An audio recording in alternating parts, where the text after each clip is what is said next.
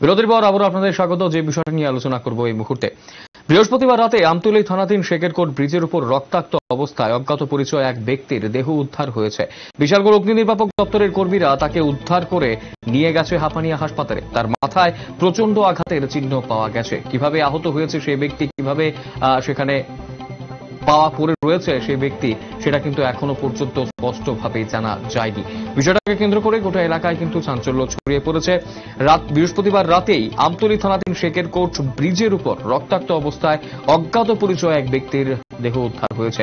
বিষয়টাকে কেন্দ্র করে পুলিশ আধিকারিকরা তার পরিচয় জানারও চেষ্টা করছে এবং তার পাশাপাশি এই মুহূর্তে দাঁড়িয়ে তাকে নিয়ে আসা হয়েছে। হাপানিয়া হাসপাতালে তার মাথায় প্রচণ্ড আঘাতের চিহ্ন পাওয়া গেছে। বিষয়টাকে কেন্দ্র করে এক দমকল কর্মী কি জানাচ্ছেন শুনব।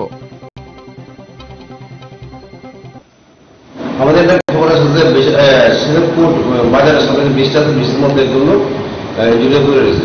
তো আমরা এখানে যাই দেখলাম একজন লোক উপরে পড়ে রয়েছে। তো রেস্কিউ করলাম রেস্কিউ করার পরে আমরা হ্যাঁ নিয়ে পাবলিক ডিমান্ড করছে যে হাম- হাফানি হসপিটালে নিয়ে পৌঁছতে আমরা হ্যাঁ নিয়ে হাফানি হসপিটালে মানে কি হয়েছে ঘটনা? আমরা যে দেখলাম যে হ্যাঁ রাস্তা ছেড়ে পড়ে রয়েছে। প্রচণ্ড ব্লিডিং হইতেছে মানে কোন জায়গায় বিল্ডিং যাচ্ছে? মাথা বা শরীরে পরিচয় পাওয়া গেছে না হ্যাঁ পরিচিত পাওয়া গেছে। আপনারা কোন জায়গাতে নিয়ে গেছেন? আমরা হাফানি হসপিটালে নিয়ে কি অবস্থায় আছে এখন? সিরিয়াস আপনারা দেখে কি মনে হয়েছে? কি হইতে পারে? আমাদের অনুমান যে কোনো গাড়ি বা বাইকে বাড়ি দিয়ে গেছে ধাক্কা দিয়ে।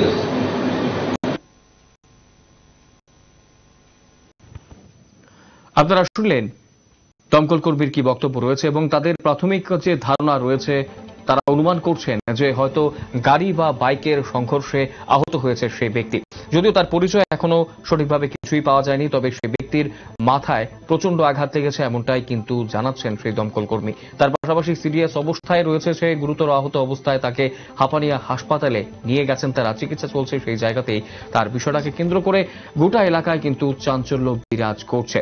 গতকাল রাতে, অর্থাৎ বৃহস্পতিবার রাতে আমতলী থানাধীন শেকেরকোট ব্রিজের উপর রক্তাক্ত অবস্থায় এক অজ্ঞাত পরিচয় ব্যক্তির দেহ উদ্ধার হয়েছে। এই ব্যক্তি কোথা থেকে সেখানে এসে পড়েছে, তার পরিচয় বা কি রয়েছে, গোটা বিষয়টার মধ্যেই কিন্তু ধোঁয়াশায় রয়েছে পুলিশ এবং দমকল বাহিনীর কর্মীরা। যদিও দমকল বাহিনীর কর্মীরা খবর পাওয়া মাত্র তৎক্ষণাৎ সেখানে চলে আসে এবং শেকেরকোটের ব্রিজ, ব্রিজের উপর থেকে রক্তাক্ত সেই ব্যক্তিকে উদ্ধার করে নিয়ে যায় হাপানিয়া হাসপাতালে।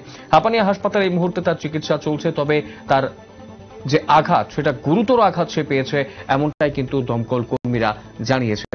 বিষয়টাকে কেন্দ্র করে প্রাথমিক ধারণা যেটা করছেন তারা প্রত্যেকে যে এই মুহূর্তে দাঁড়িয়ে গাড়ি বা বাইকের সঙ্গে সংঘর্ষে আহত হতে পারে সেই ব্যক্তি, এমনটাই কিন্তু জানিয়েছেন দমকল কর্মী। বিষয়টাকে কেন্দ্র করে অবশ্যই গোটা এলাকায় চাঞ্চল্য ছড়িয়েছে। সময় ছোট বিজ্ঞাপন বিরতির রয়েছে অন্যান্য সংবাদ। সঙ্গে থাকবেন।